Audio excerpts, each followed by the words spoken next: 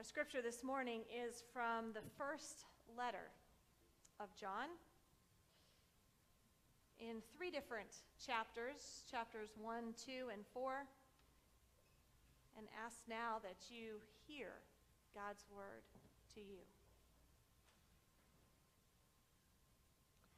This is the message we have heard from him and proclaimed to you that God is light, and in him there is no darkness at all.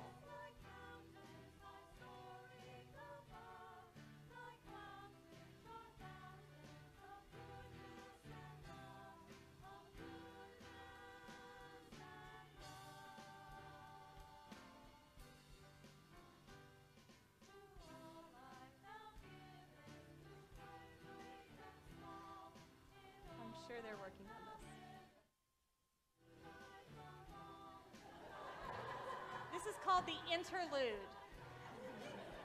This is the interlude.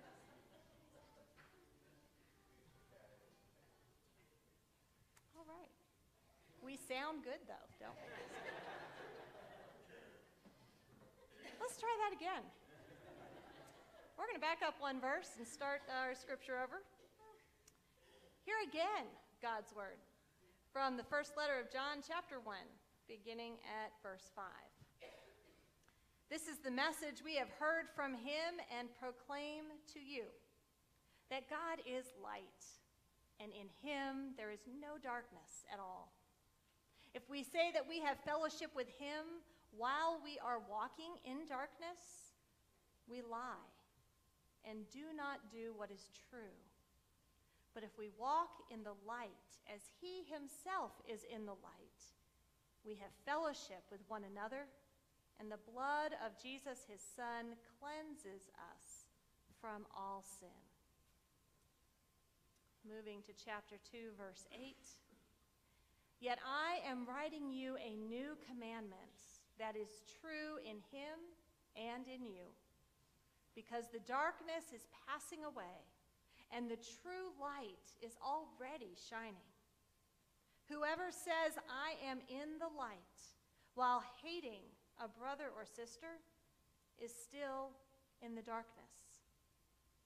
Whoever loves a brother or sister lives in the light, and in such a person there is no cause for stumbling. But whoever hates another believer is in the darkness walks in the darkness and does not know the way to go because the darkness has brought blindness. And then in chapter 4, Beloved, let us love one another because love is from God. Everyone who loves is born of God and knows God. Whoever does not love does not know God, for God is love. God's love was revealed among us in this way God sent his only Son into the world so that we might live through him. In this is love. Not that we loved God, but that he loved us and sent his Son to be the atoning sacrifice for our sins. Beloved, since God loved us so much, we also ought to love one another. No one has ever seen God if we love one another, God lives in us, and his love is perfected in us. So by this, we know that we abide in him and he in us, because he has given us of his Spirit. And we have seen and do testify that the Father has sent his Son as the Savior of the world. So God abides in those who confess that Jesus is the Son of God, and they abide in God. So we have known and believed the love that God has for us. God is love. And those who abide in love abide in God, and God abides in them.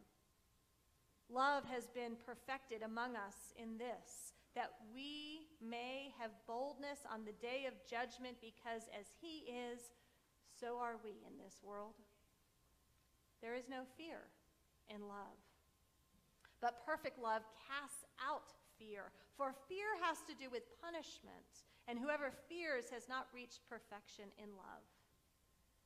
We love because he first loved us. And those who say, I love God, and hate their brothers and sisters are liars. For those who do not love a brother or sister whom they have seen cannot love God whom they have not seen.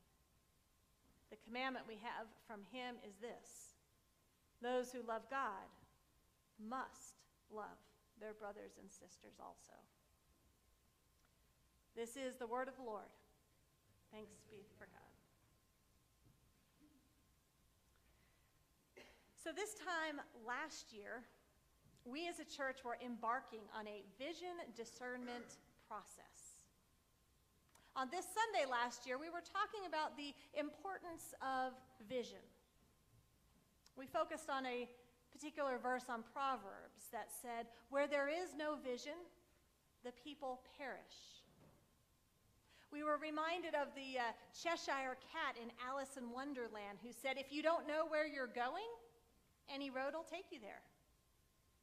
And the great American icon Yogi Berra, who said, if you don't know where you're going, you'll end up somewhere else. The point is, without vision, without direction, we don't know where we're going. We don't know which road to take, and we may just end up in a place we would rather not be. Vision gives us direction, it gives us purpose, it unites us as a church, it motivates us, gives us goals and dreams, hope and energy. And so, for all those reasons, vision is important, it is essential to who we are.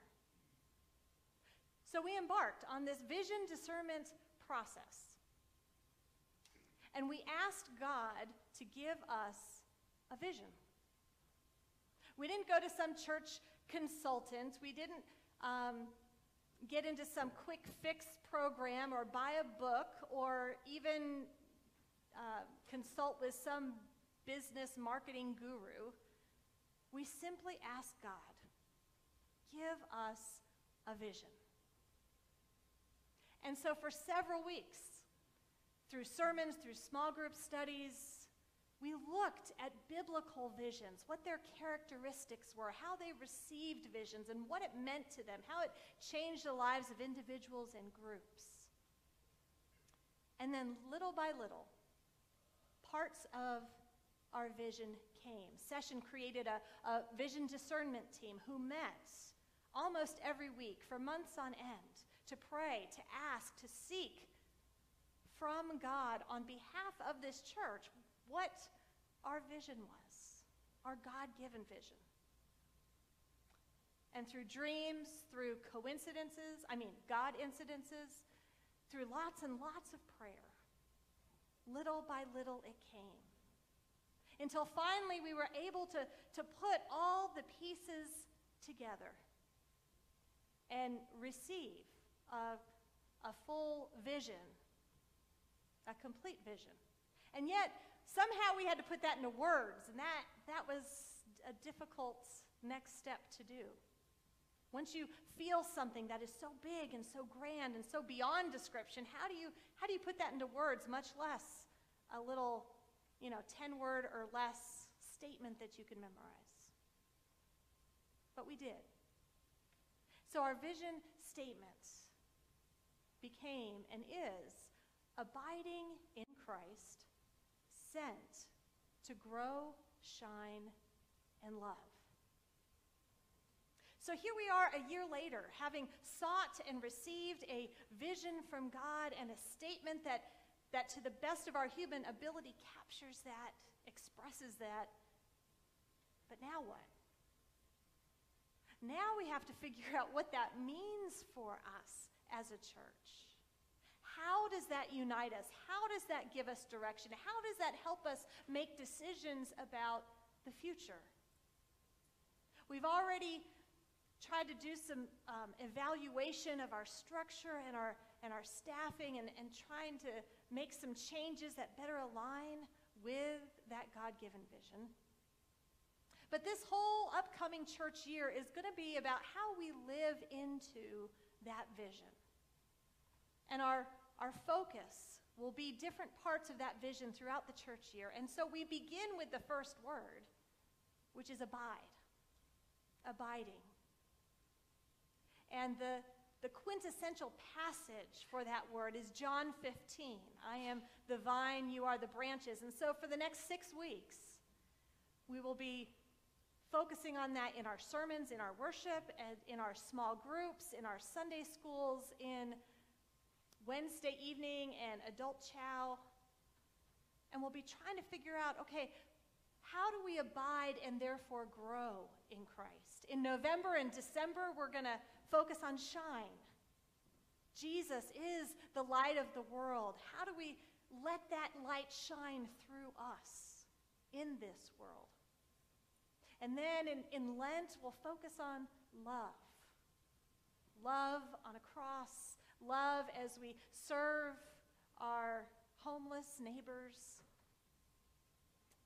through winter shelter. Abiding in Christ, sent to grow, shine, and love. So as we begin with that first word, abide, we'll be hearing that a lot in the next couple months. So what does that mean? Because I don't know about you, I don't hear the word abide a whole lot in everyday language. What does it mean to abide? Well, as I was looking at the original language, the Greek word is meno. It appears 118 times in Scripture. But it's translated in different ways. It's not always translated as abide, it, it's translated also as remain, uh, stay, dwell, live, continue on. So, trying to get a sense of this word abide and what it means, it's not just to exist.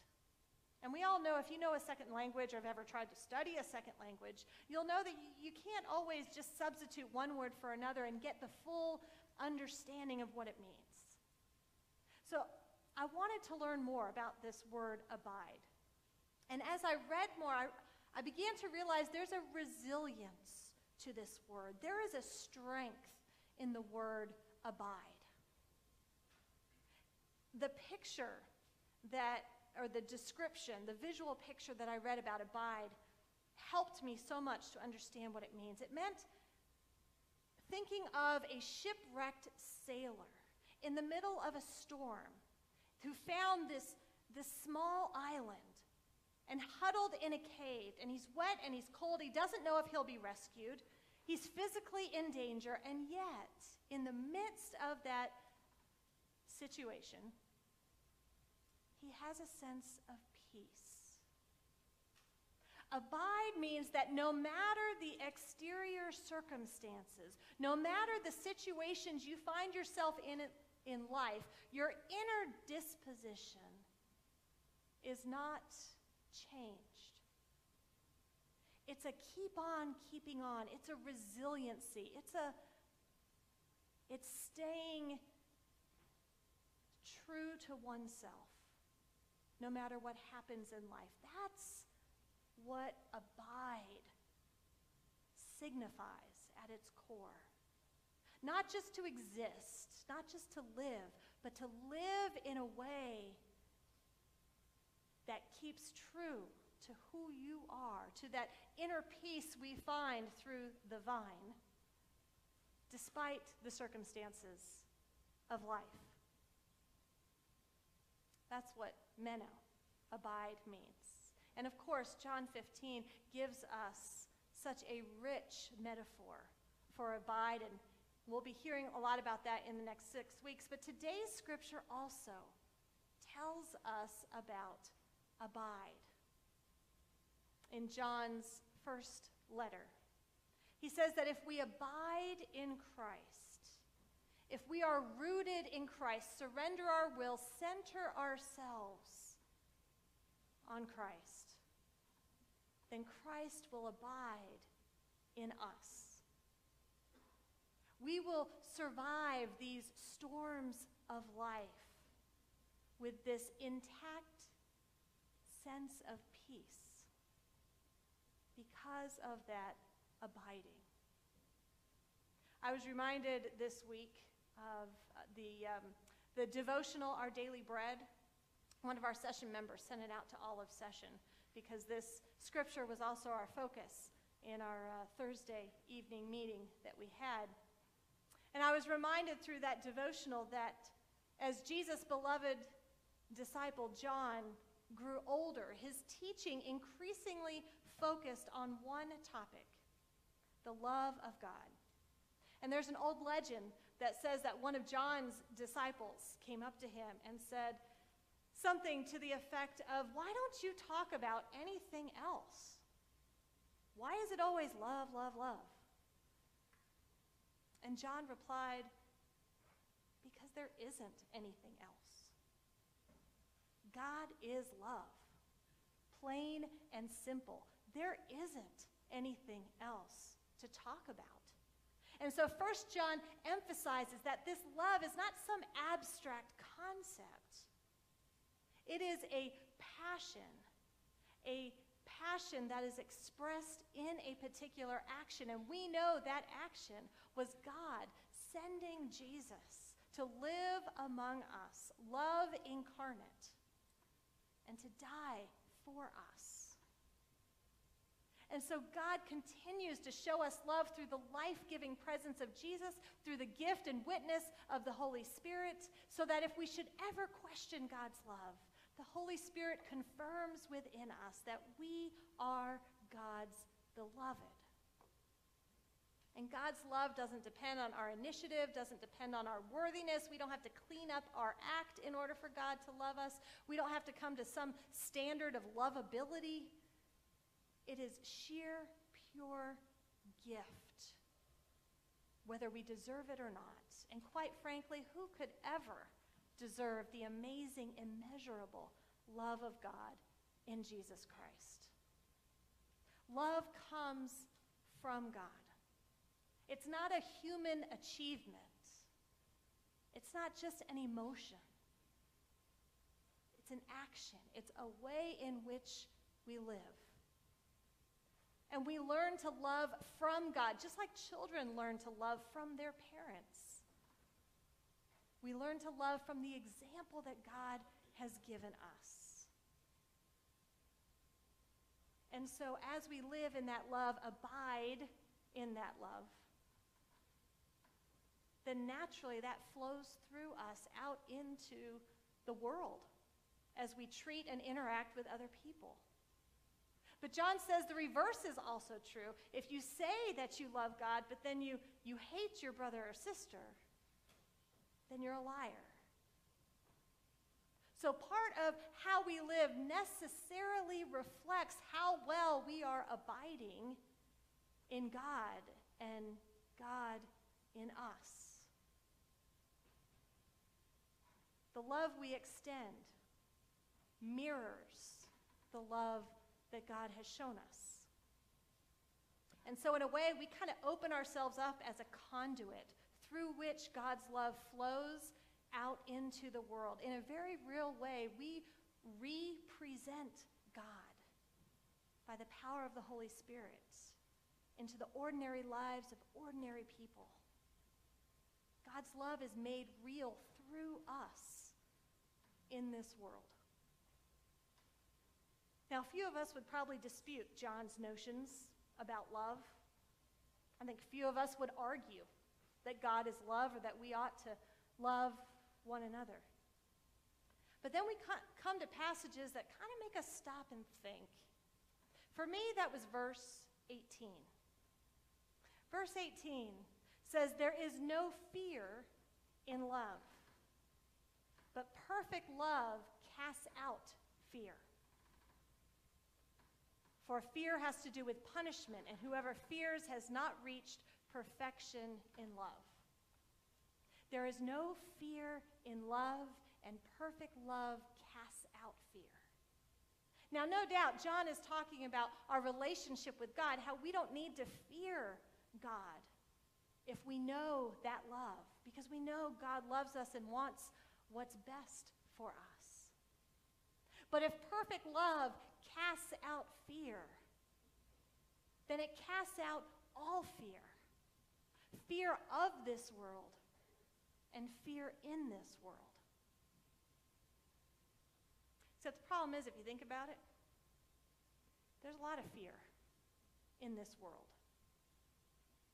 And there's a lot of fear in us. It starts as kids. We're afraid of the dark. We're afraid of the, the monsters that are under our bed or in our closet. But as we grow, the monsters grow too. And it was on a day like today, 15 years ago, that the monsters we fear became all too real. Where were you when the world stopped turning? As Alan Jackson put it in his song.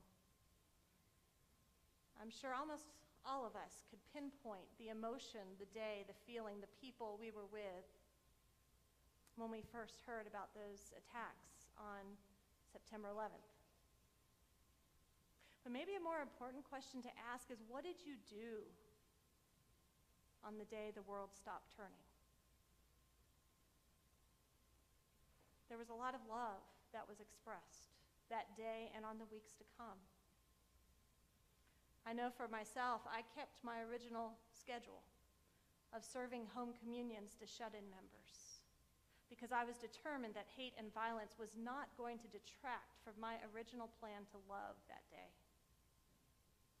A lot of people called and gathered with family and friends to support, to love, a lot of people went to church that day to look for answers.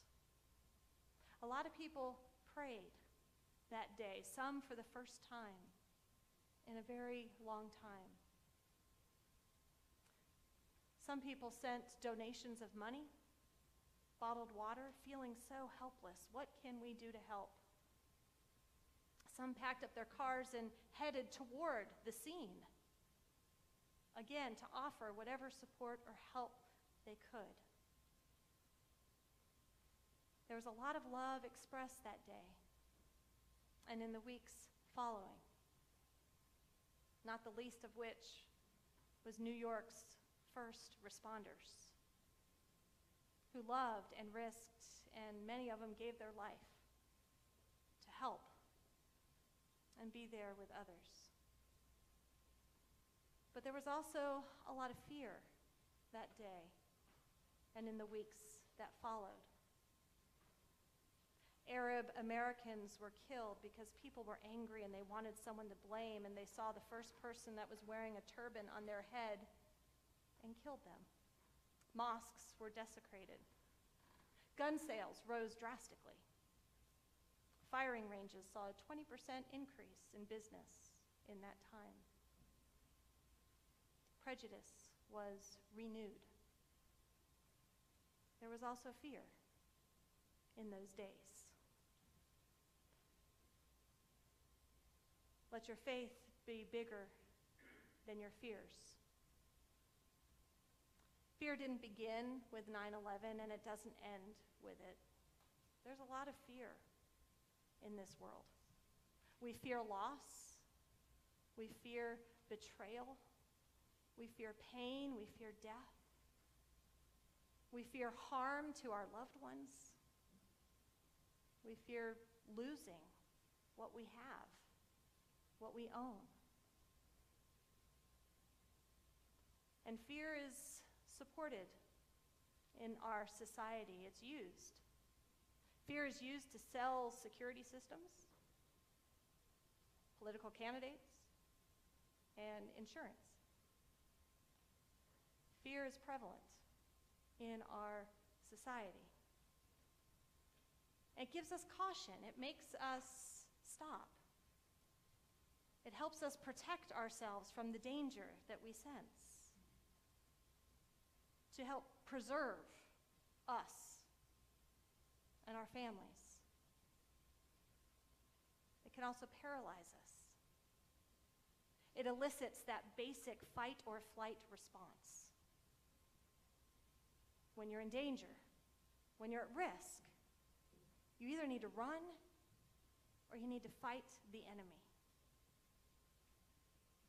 Which is probably why the great preacher William Sloane Coffin, when he preached on this passage, said that the opposite of love is not hate. The opposite of love is fear. Think about that. Can you, can you love someone that you fear? Or at least love them in a biblical way, an agape kind of love, the kind of love that God showed us that we are called to live in this world? Is that why John writes that perfect love casts out fear? Because it's kind of like light and darkness, they can't exist in the same exact moment. Fear divides, love unites. Fear looks out for self, love looks out for others. Fear brings about the fruit of distrust and suspicion and hatred resentment. Love brings tenderness and compassion and sacrifice.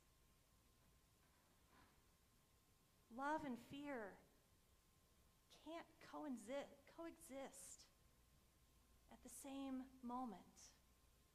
And I was thinking about that perfect love. That perfect love casts out fear. None of us is perfect, and we know that, and that's why there's love and fear all mixed inside of us. But God's love is perfect. Jesus' love is perfect. Can you think of a time that Jesus was fearful? That he was afraid? I think the closest I can even come to thinking about that is the Garden of Gethsemane, and even then, I'm not sure that was fear that motivated him. See, Jesus had that perfect love. And I don't see how fear was a part of his life. Perfect love casts out fear. We don't have that perfect love, but maybe that's our prayer. Maybe that's the direction this vision is helping to move us in. That we pray our love is bigger than our fear. That we pray that our love will increase and our fear will decrease. I have over my doorway in my office here a little plaque that says, Let your faith be bigger than your fears. And maybe that's the direction this vision moves us in. We can't make ourselves not be afraid. It is a human, natural response and emotion. But we can pray, we can abide. And I believe the more that we are abiding in the love of God, the less we will fear. And if it's true for us individually, it's just as true for us as a church body. That we are to model love, not fear. The love of God expresses itself in community as the body of Christ together. And so, as we as a church continue to abide in that love, perfect love will cast out any fear that exists. We know the church is a human institution as well as the spiritual body of Christ. We know that we are not perfect. But again, this vision unites us and moves us in the direction of abiding. And in that abiding, our fear is cast aside. Abiding in Christ, it's the first part of our vision abiding. It's a sense of, of peace and of rootedness in the midst of the storms that we face. Abiding is a sense of God's love that casts out the fears of this world. So let your love be bigger than your fears. Faith, hope, and love abide. These three But the greatest is and always will be love.